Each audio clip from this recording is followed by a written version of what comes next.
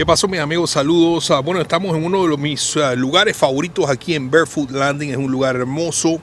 Eh, tiene un canal muy, muy, muy bonito. Miren ustedes allá del otro lado hay cantidad de yates, condominios, eh, hoteles.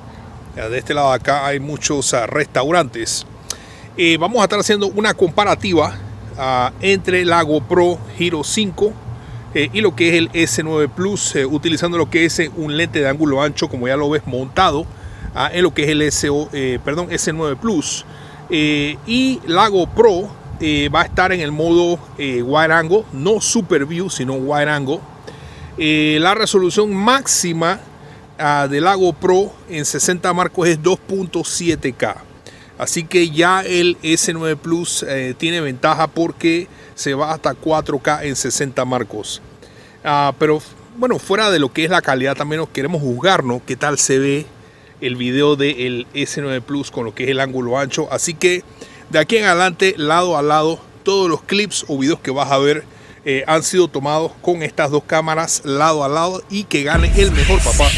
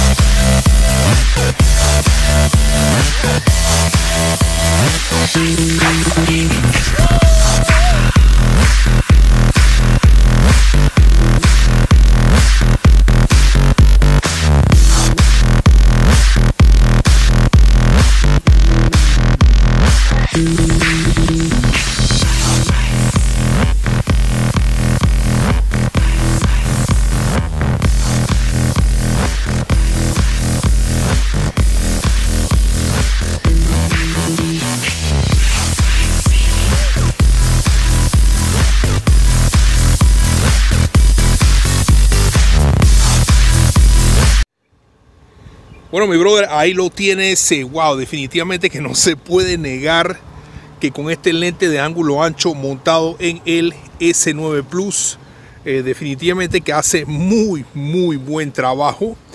Eh, es más ancho, creo, el ángulo que bota lo que es eh, la cámara GoPro.